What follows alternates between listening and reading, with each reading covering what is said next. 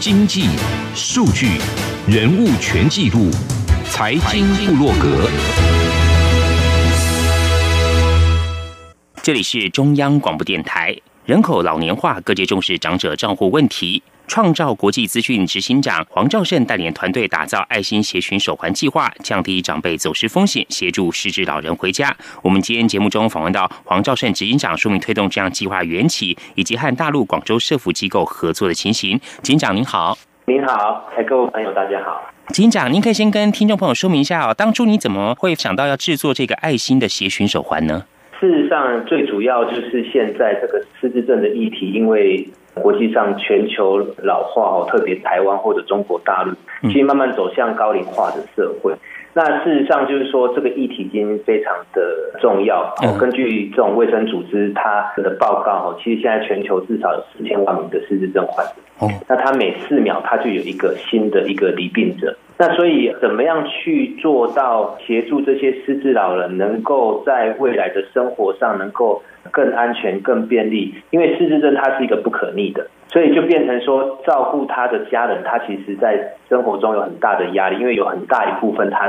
这个失智长者他可能呃离开家啊就忘记啊回家忘记回家的路就走失。嗯，那么所以我们就希望透过一些创新的研发，透过穿戴式的装置，那特别呢就是说。成本就要比较低，因为呃很多的这个失智长者哈，他可能是属于这个社会上的弱势。那如果说你这个价位上比较高，那你可能就没有办法去提供长者去使用。那么所以呢，我们最主要就是想要透过发展可以量产，可以价位上能够符合一般大众人口能接受。的一个装置，然后去辅助改善这个失智病患走失的一个状况。是，请讲这个爱心协寻手环，它有什么样的功能，可以帮助这些长者们协助他回家呢？一般来讲，针对这种失智症病患，或者是说走失这种议题，其实现在社会上还是很常发生的。那其实很常见到的，我们现在可以去解决这个议题的技术，大概有几个。第一个是一般警政单位，它有这种指纹。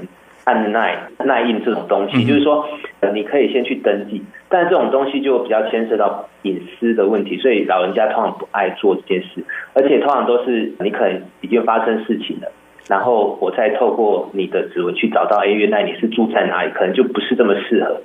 那另外一种的话是类似这种卫星定位器，那卫星定位器它本身它其实就像是一只手机啊，就是它里面有一张电话卡，那你穿着这东西或带着东西出去。那我随时可以去定位你，但是这种东西就牵涉到，其实它就是一只手机，你就必须要付月费，它的装置成本就比较高。那再来就是说，老人联盟福利基金会，它在十几年前就开始在推动一个叫爱心手链。哦，那这个爱心手链基本上它上面就是有一个协询电话，有一个编号，那它有一个 call center，所以今天如果你看到一个老人家需要协助，你事实上你是可以看这个手链上的电话号码。打电话到他的 call center，那 call center 的这个服务人员会在询问你说，哎，你在哪里呀？那这个老人手链上的编号是多少啊？然后去指引你怎么带这个老人回家。那事实上，我们在研发这个爱心学寻手环的过程当中，就是因为和老人联盟福利基金会这样的机构，它有过去的这个执行上的经验，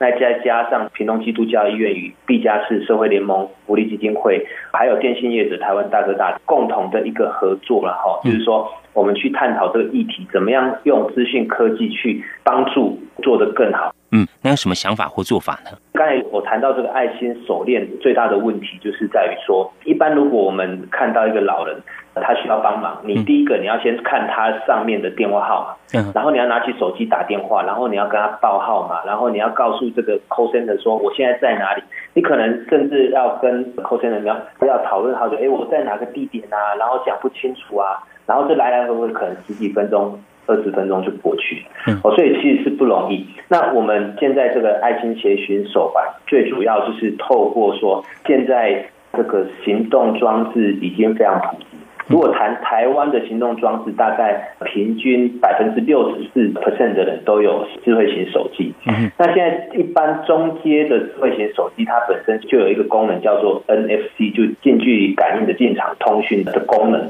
它有点像悠游卡的这种读卡机的概念，就是说你拿这个手机去读某个东西，它就能和你的手机互动。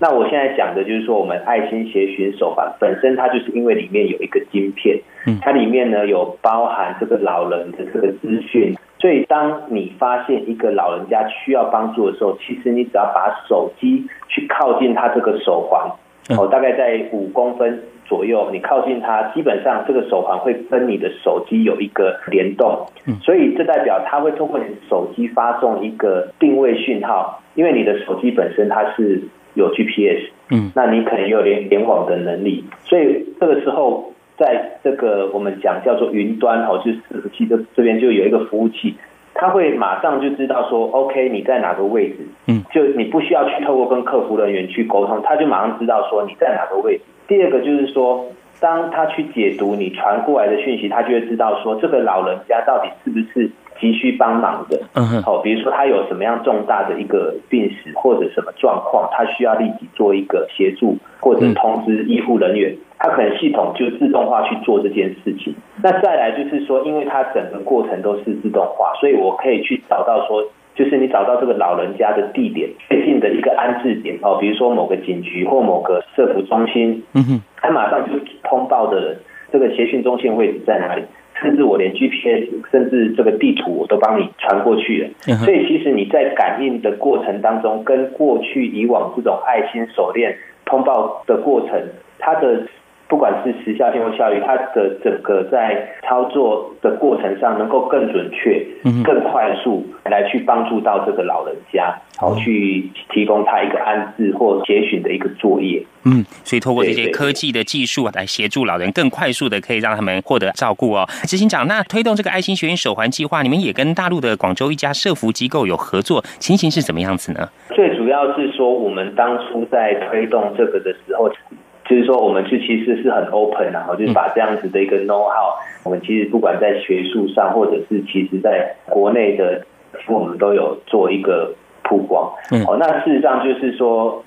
他是这个台湾的业者，那可能他本身和大陆这边就已经有合作，特别是刚才您提到的，就是在大陆有一个广州的也是社会福利机构，嗯，那他们就透过台湾的业者来向我们询问说有没有机会把这样子的服务引进到大陆。那事实上我也跟他们去了解说，大陆目前的这个对于失智长者。协寻的这个应用，哦，那在大陆他们比较普遍，他们叫黄手环。它其实它的构造其实跟我们谈到在台湾早期这个爱心手链很像。台湾的爱心手链它其实是就是一个钢制手链，它上面有个像一个牌子一样，上面刻电话、刻号码。嗯，那在大陆的黄手环事实上它是一个橡胶手环。哦，橡胶手环它基本上里面就是说它可以把这个老人家的住址啊、电话。名姓名写在纸上，然后塞到这个手环。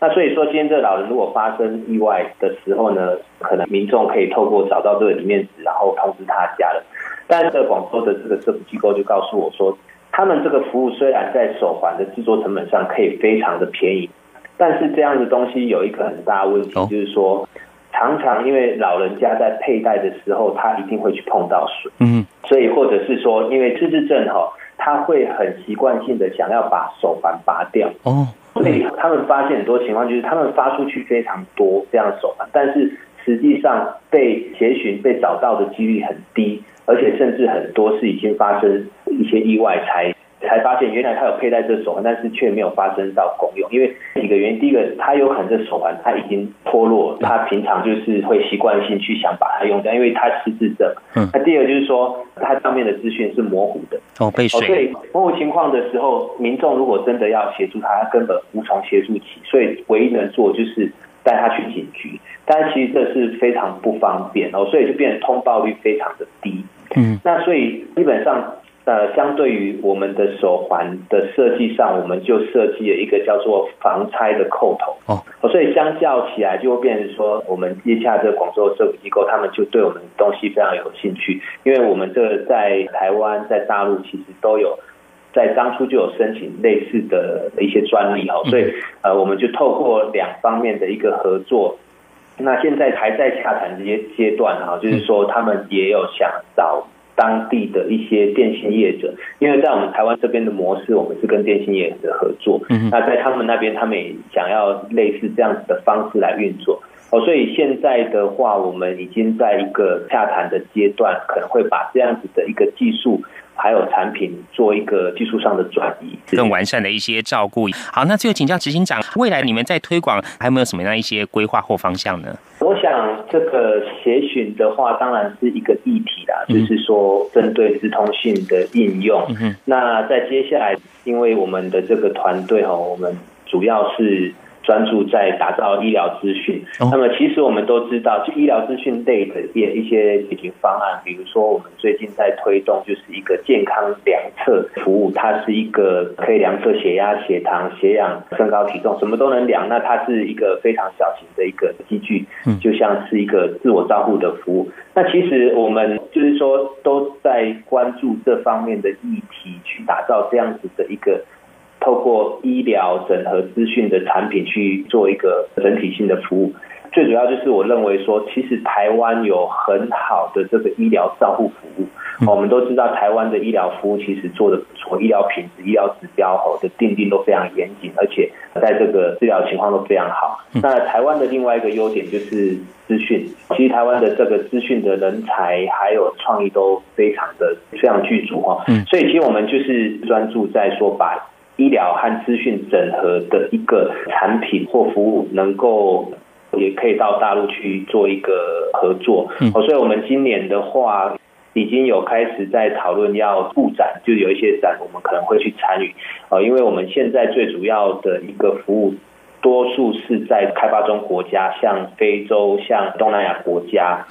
那事实上，我一直认为说，大陆其实就是在我们隔壁啦。我想现在也非常多的这个台商过去，但是就是说，我们怎么样台湾的企业、青年的企业家能够更快的有一个立足点哦，特别是政府如果能够协助台湾的这个中小企业或新新创的企业，能够更具这方面的知识或者是推动的这个能力哈，我想这是非常重要，因为我想对我们来说，大陆是一个如果在谈商业化是一个很大的机会点。但是同时，也是一个必须我们要步步为营的一个地方。嗯，好，我们今天节目中呢，非常高兴访问到创造国际资讯的执行长黄兆胜黄执行长，为我们说明他带领团队推动爱心学群手环计划，以及和大陆广州的社福机构合作的相关情形。非常谢谢执行长接受访问，谢谢您，谢谢。